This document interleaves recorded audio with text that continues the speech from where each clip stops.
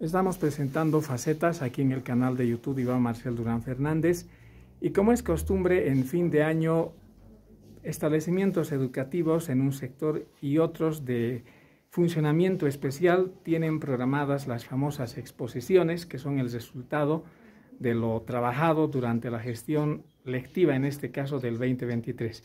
Es el caso de un centro que se encuentra en Villanueva, Jerusalén, es una zona populosa muy cerca al hospital de tercer nivel, pero mejor será la autoridad educativa de este centro educativo, ella va a identificar plenamente para los amigos y amigas de Facetas. Profesora Raquel Blasquez, muy buenos días. Primero queremos saber la razón social de este centro educativo. Bueno, en principio agradecer, agradecerle a usted por esta entrevista que me está realizando. Eh, estamos en el Centro Técnico San Ignacio de Loyola, eh, Villa Nazaret, Distrito 12. Bueno, como usted puede ver, eh, cada fin de gestión se van demostrando todos los trabajos que van realizando nuestros participantes, eso siempre respondiendo al PCP que vamos planificando, ¿no? Y a partir de aquello damos respuesta a las, a las participantes, porque ¿qué es lo que queremos nosotros? Un cambio de conducta de, de, de ellas, ¿no? Entonces, como se puede verificar los diferentes, trabajos que han realizado. Bueno, esto va a ser no solamente para ellas, sino para que vayan comercializando. Esa es la finalidad, de que a través de lo que aprenden ellas vayan mejorando su calidad de vida y vayan formando sus microempresas individuales también, ¿no? Y bueno, y felicitar a las participantes que lo han hecho un buen trabajo y bueno, a seguir adelante, queridas participantes, a ustedes. Eh, señora directora, ¿cuáles son las especialidades, los rubros con que cuenta este instituto? Es decir, aquí podemos ver que son los tejidos, tejido pero tejido industrial. ¿Qué, otras, eh, ¿Qué otros rubros tiene también este instituto? A ver, nosotros ofertamos las especialidades de sastrería, eh, confección de ropa típica, gastronomía, alimentación, tejido industrial, eh, estamos con esas especialidades. Y las diferentes especialidades que le he mencionado son requeridas por, el, por la zona. ¿Por qué? Porque mm, hoy en día mm, las mujeres también buscan ¿no? capacitarse de alguna y otra manera para, como le decía, para mejorar su calidad de vida también, ¿no? ¿Este instituto depende del Ministerio de Educación? Sí, eh, somos una obra de convenio, estamos eh, bajo la tutela de Fe y Alegría, pero el Ministerio de Educación son los que cuentan, cancelan los, uh, los salarios. Bien, podríamos, quién sabe, con usted más conversar con las alumnas, las que han sido prácticamente las artífices de, todas estas, de toda esta confección en lana, en prendas de vestir, por favor. Bienvenidas a Facetas aquí en el canal de YouTube Iván Marcel Durán Fernández. Comenzaremos con usted. ¿Cuál es su nombre? Silvia López. ¿Qué es lo que usted ha podido trabajar, aprender, estudiar en esta gestión 2023? ¿Podría indicarnos cuáles han sido sus trabajos, por favor? Eh, yo más he aprendido a hacer las chumpas de cholita, por ejemplo. Esta, a ver.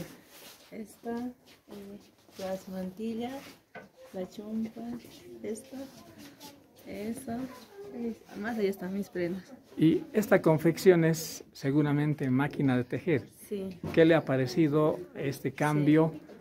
Porque de algún rato puede servirle esto como una forma de vida. ¿Qué opina usted al respecto? Eh, es muy bonito. Uh, es desestresante. Mm, por ejemplo, esto me ha gustado hacer. Este, este, este uniforme.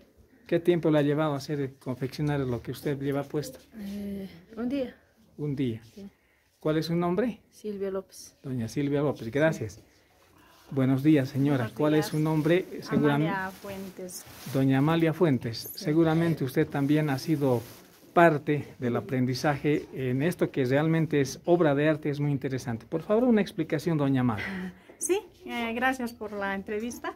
Eh, agradecemos al Instituto Ignacio de Loyola y a las uh, docentes ¿no? que con con tanta amabilidad y bondad nos han apoyado para que seamos algo en la vida. Eh, mi emprendimiento este año ha sido, eh, como puede ver, los ponchitos, los, las ruanas trabajadas en lana de alpaca, 100% natural. ¿Qué tiempo le ha llevado confeccionar? Porque les reitero, esto nos trae recuerdos a lo que se comercializa, por ejemplo, en la calle Sagárnaga en La Paz, así confecciones de pura lana. A ver qué opina al respecto. Eh, sí, me ha llevado bueno, el trabajo en la máquina es rápida, pero lo que nos, nos tarda son las pretinas, los combinados. Y a mí me ha empujado a hacer esto, ya que nos estamos olvidando del material que tenemos en Bolivia. ¿no? Entonces eso me ha empujado a que utilicemos nuestro material, como es eh, la fibra de alpaca, y también nos vamos a lo más barato, que es la lana acrílica. Eh, es costoso, pero le diré que mi emprendimiento yo sé que me va a ayudar económicamente tanto en mi familia, en mi hogar. Y también hacemos, eh, nos han enseñado mm, diferentes módulos, hemos comenzado el primer año con, la, con ropa de bebé, niño, adolescente y segundo año ya estamos con las prendas grandes. Por lo que vemos es un buen emprendimiento y como usted lo ha dicho va a servir para el futuro. También vamos a conversar. Gracias. De, gracias a usted. ¿Cuál ha sido el emprendimiento, doña Teresa, en esta gestión 2023? Buenos días a Facetas. Ah, mi emprendimiento ha sido estas chompitas, después estos ponchitos, me he basado, ponchitos, me he basado en la máquina, he aprendido mucho.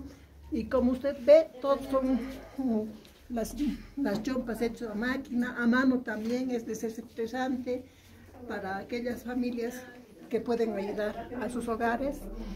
Ah, hemos aprendido todo, es el segundo curso, por ejemplo, aquel trajecito verde lo hice yo y realmente me gusta que tengamos esas actividades y Bolivia tiene esa facultad de progresar.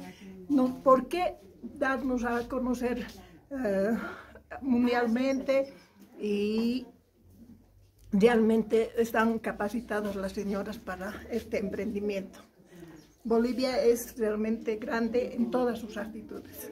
Muchas gracias. Aquí mi profesora, eh, seguramente hay una persona que es la profesora, la guía, la que ha llevado este emprendimiento. Buenos días, profesora. Su nombre, por favor. Eh, buenos días, mi nombre es Teresa Mendoza. Seguramente, profesora Mendoza, usted está a cargo de todo esto. Este es el resultado, como decía hace algunos minutos, de todo el trabajo en esta gestión 2023. Un pequeño balance al respecto, profesor.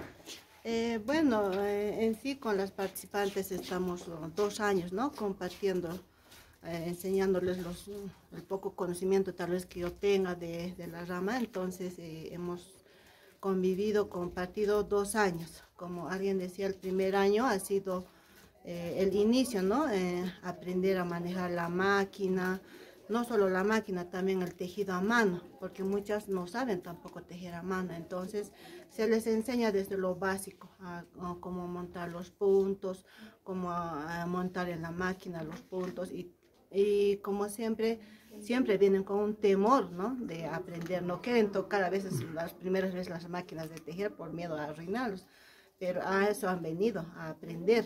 Entonces, eh, yo siempre les enseño de, lo, de, la base, o sea, de lo básico, ¿no? Y el primer año han realizado prendas de niños, para niñas, para bebés, o sea, mayormente ha sido ropa de, de niños. En este segundo año se están, están, han realizado ya las prendas para mayores. Eh, como usted lo ve, son más prendas para mayores, ¿no? Tanto para varones y para mujeres. Y bueno, eh, a medida que pasan los años, eh, ellas toman un poco más de confianza y lo han realizado. El objetivo siempre es que ellas sean mujeres emprendedoras. Lo que están aprendiendo, que no se quede ahí, sino que lo apliquen. Y, yo, como siempre les dije, esto es una profesión, ¿no? Si ellas lo, lo explotan, van a salir muy gananciosas, porque aquí les enseñamos la base y está ahí que ellas tengan la creatividad, innovar, porque usted sabe que el mundo de la moda es... Eh, uh, Cambia cambiando, entonces hay que actualizarse en ese sentido y bueno, ya teniendo la base es ya más cuestión de ellas, yo siempre les digo, innovar, ¿no? Y crear sus propios diseños. Y qué bien que a futuro sean conocidas, hacer uniformes para las escuelas, para instituciones, entonces, ese es el objetivo, que se tiene, o el, el objetivo, eh, lo que nosotros le estamos inculcando. También en el aspecto de valores, ¿no? Ser, como usted, no sé si en este tiempo se está perdiendo los valores mucho, entonces rescatar que ellas vayan incentivando, inculcando en sus casas, más que todas las uh, señoras que tienen sus hijos pequeños, entonces revalorizar o rescatar esos valores, no más bien perderlos, porque esto, el avance tecnológico también ha influenciado en esto, ¿no? en la pérdida de valores.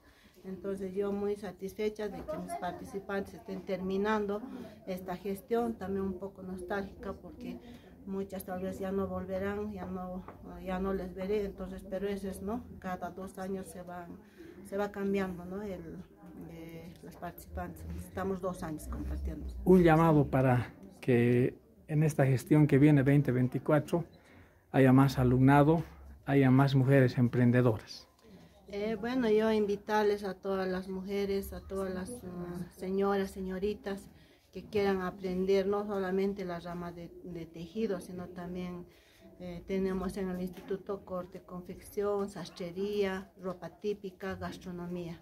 Entonces, animales, invitarles a que se inscriban, mmm, vengan a aprender y después ya con eso pueden hacer un emprendimiento, porque hoy en día eh, estamos en eso, en querer emprender eh, y ser mujeres, como le digo, emprendedoras que vayan eh, mejorando, ¿no? Cuando tienen un emprendimiento siempre va mejorando la calidad de vida de la familia en especial.